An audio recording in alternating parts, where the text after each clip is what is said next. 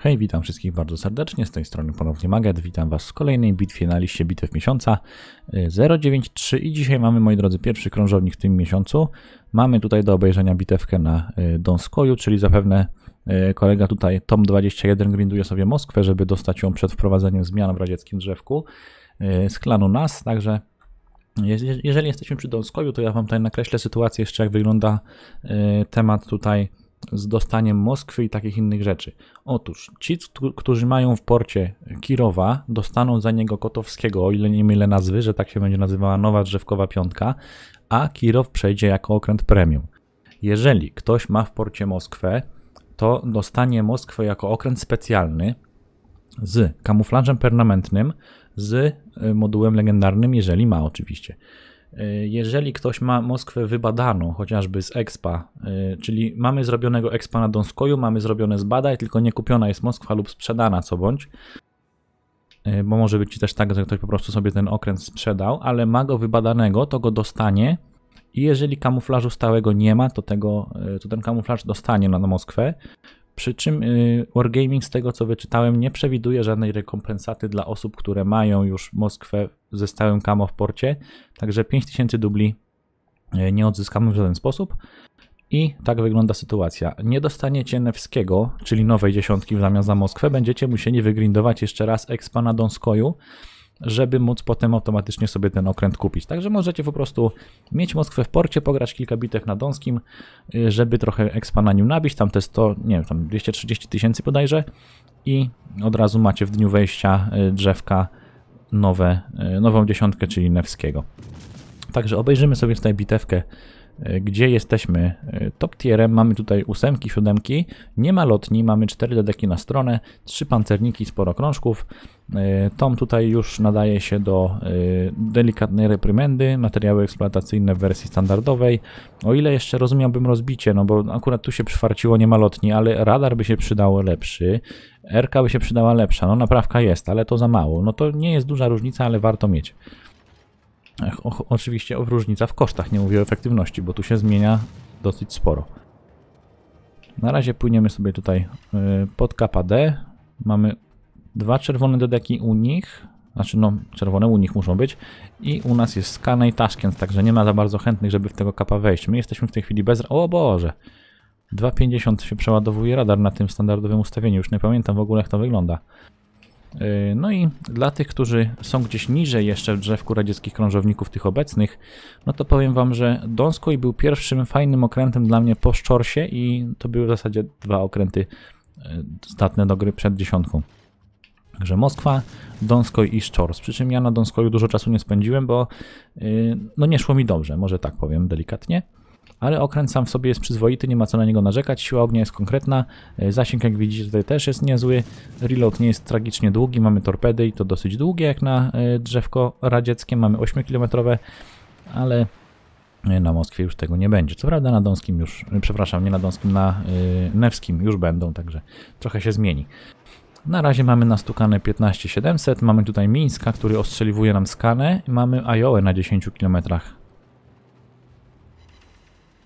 No weszła ładna salwa, 2700 z pożarem i z uszkodzeniem. Pali się ten yy, Mińsk. Nie, zgasił się. No i tu mamy przyklejone do Ajoły Jugumo, także gdyby yy, w kierunku Ajoły płyną jakieś sensowne torpedy, a płyną tylko torpedy włoskie z Zary, także trochę to potrwa zanim dopłyną, to pewnie Jugumo zdąży wykręcić. Ale na razie bierzemy na cel Ajołę. Ona się odwraca, w ogóle na nas nie patrzy. Możemy sobie spokojnie tutaj paziować. Mamy tu jeszcze Taszkenta, jest yy, Lyon, nie, Lion, przepraszam. Lion, no tak, bo dziewiątka. No dobra, Brytol. W międzyczasie Skalen dokończyło z artylerii Mińska i tam w pobliżu kapa, jak widzicie... O! Dostanie tą włoską torpedę? Nie, chyba wykręci ta Iowa. Zgasły. To przyfarcił trochę, mógłby dostać. Montujemy kolejny pożar na pokładzie Ajoły. Jak widzicie, Ajoła bez sygnałów, bez kamuflażu, także yy, miąsko sobie pływa armatnie. Mamy 27 tysięcy nastukane, 1 do 1 w okrętach, ale przeciwnik co prawda ma przejętego kapa A. No i mamy pierwszego fraga przy 30 tysiącach. No i dosyć zachowawczo gra widzę Tom, no ale Donsko nie jest raczej do puszowania, więc yy, gra nim tak jak powinien. Jeszcze się radar przeładowuje. Ładnie tu będzie się podpalało, chyba losu, losuje dosyć korzystnie, bo mamy 65 pocisków w celu, już 5 pożarów wbitych na przeciwniku. Także można będzie tego damage'u trochę tutaj nastukać. Jeżeli bitwa by się potoczyła odpowiednio, no to będzie yy, podstawa do tego, żeby coś zrobić tutaj na tych pociskach. No są bitwy, gdzie na przykład ostatnio grałem sobie Conquerorem yy, z tym specjalnym kapitanem yy, brytyjskim. No i po 40 paru pociskach nie miałem żadnego pożaru, przy czym oczywiście informuję, że strzelałem z obeków, a nie z pepanców. Do pepanców mam Thunderera. Przyspieszmy trochę akcję. Tu widzimy, że Musashi nam wjeżdża na kapa. y, Jest w starciu z Atlantą. Spójrzmy, Atlanta ile ma już hapsa? 2000 jej zostało. Nie wiem, czy miała przed chwilą więcej, nie spojrzałem. Ale o właśnie, no Musashi 460 kontra Atlanta to raczej nie jest y, wyrównana walka. Akatsuki tam jest jeszcze w pobliżu tej, tego Musashi, także ono powinno mieć z nim szansę. Jeżeli nie będzie się za bardzo wiercił, no to najprawdopodobniej sprzedam mu komplet torped i wyślę go do portu. My tutaj w tym czasie y, cały czas siejemy ogniem w Jugumo, które nie wiedzieć czemu się ostrzeliwuje na takim dystansie. No i Zara je dokańcza. Mamy tutaj Seattle i Nowy Orlean na tej flance i to jest wszystko z tej strony. Akatsuki tam się widzę nie odsłania, postawiło sobie dym i teraz torpeduje w końcu Musashi, tylko mogłoby chociaż do niego pyknąć za tego dymu, żeby zdekapować, no ale widzę, że nie ma chętnego. Z tamtej strony został tylko Run i Akatsuki w okolicy Kapabe, reszta naszych okrętów jest tutaj, także 4 do 4 w okrętach jest póki co. Yy, we fragach, przepraszam. Mamy też, o, no i się zrobiło 4 do 6 we fragach, szybciutko. Zostało nam tutaj, jak widzicie, jest Skane, jest y, Lion i jest Gneisenau. To prawda prawie na full hapsie, także coś jeszcze tu mogą sensownego zrobić. Płyną ładnie puszczone torpedy przez skanę w kierunku Seattle, ale tutaj widzę, że też tą ładną salwę sprzedał. 6 przebić na wylot, szkoda tego. O, no i skanę dopala tego Seattle'a, no i po tej stronie mapy w zasadzie mamy teraz Musashi, który jest na naszym y, respie i gdzieś tam Nowy Orlean z przodu, jak widzicie, majaczący. I do tego cyklon się jeszcze zaczyna, także trzeba będzie trochę tą bitwę przyspieszyć, bo do najbliższego przeciwnika mamy ile tu? 16 km, a tu 17, także no trochę jest. No fakt faktem 12-kilometrowy radar, on nam pozwoli jeszcze oddać jedną, dwie salwy na takim w miarę bezpiecznym dystansie. Orlean dosyć mocno fokusowany, raczej długo to nie pociągnie. Na razie z obeków strzela Tom. Kąt jest dosyć niekorzystny, więc całkiem słusznie. No i znika nam Nowy Orlean w tej chwili. Warto by wyradarować, chociaż tu widzę Tom próbuje strzelać po tym y, znaczniku na minimapce. Akatsuki wygonione pod krawędź mapy. No jakby go wyradarował, to by go powinni zdjąć, bo zostało mu chyba tam 5000 hapsa. No ale przewaga punktowa tu widać po stronie czer... O! Jeszcze nam Orlean zamordował skanę, także zostało nas tylko y, pięciu w tej chwili. Jest Musashi do, po torpedowaniu zalane, także gdyby jeszcze je podpalić, to można by trochę damage'u tutaj złapać. Udało się. 9 skruszeń i jeden pożar. Ja lubię walczyć z Musashi i z Yamato, nawet jak jestem w jakimś krążowniku, jak mam je burtą, czy tam wiem jak wyczuję, jak się po prostu wstrzelić w nadbudówki i tylną część pokładu, tam wchodzi potężny damage. Zwłaszcza gra Minotaurem, to, to dobitnie y, jest zauważalne, że stojące burtą Yamato można pięknie klepać po nadbudówkach. Chociaż nawet jeżeli przerzucamy nad nadbudówkami to wszystko od dziobu, no to też wchodzi to w, ten, w tą tylną część pokładu.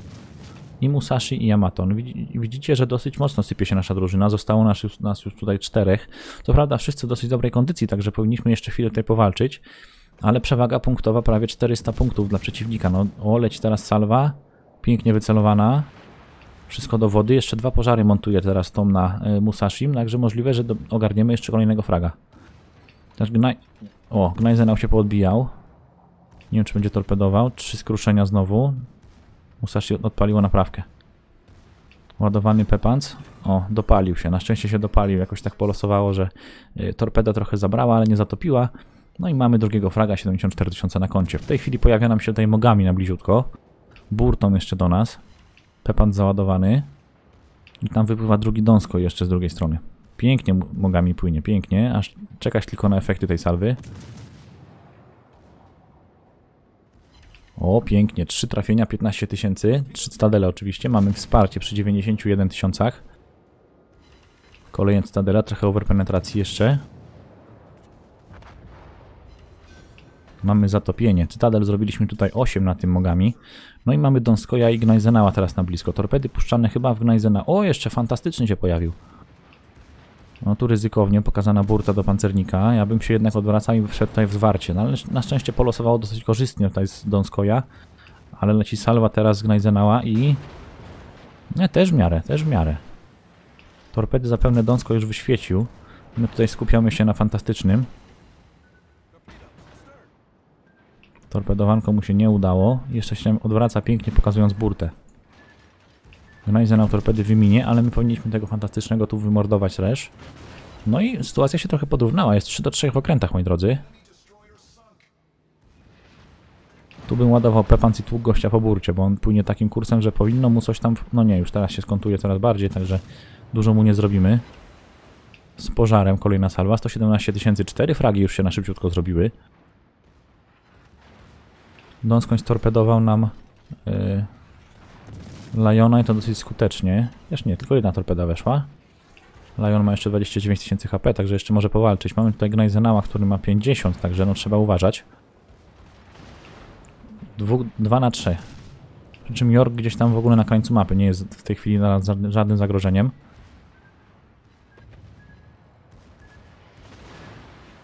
Pożar. Ja bym naprawił. O, udało się, udało się. Ładna salwa wpadła. Mamy Krakena, moi drodzy. 124 tysiące. Mamy wsparcie jeszcze. Teraz jeszcze leci salwa z Gnajzenała. 1600 tylko. To jest właśnie zaleta tego, że Gnajzenał ma tylko y, 6 rurek na pokładzie, także ta salwa nie jest jakoś mocno liczna. 21 sekund zostało do przeładowania się grupy naprawczo-ratunkowej, także może tutaj jeszcze Tom się troszeczkę podratuje z tym hapsem i coś jeszcze tutaj zdziała. No w punktach tracimy ponad 350, także no nie jest dobrze, ale y, w okrętach nie jest najgorzej. Mamy Gnajzenała i całkiem w dobrej kondycji jeszcze tutaj jest y, Lion. No torpedy puszczą na granicy zasięgu, także nie wiem czy wejdą w ogóle. Na radarze cały czas jest tutaj trzymany Gnajzenał, jeszcze kilka salw pewnie w niego wejdzie. Jeszcze jedna powinna zdążyć trafić. O, jest York.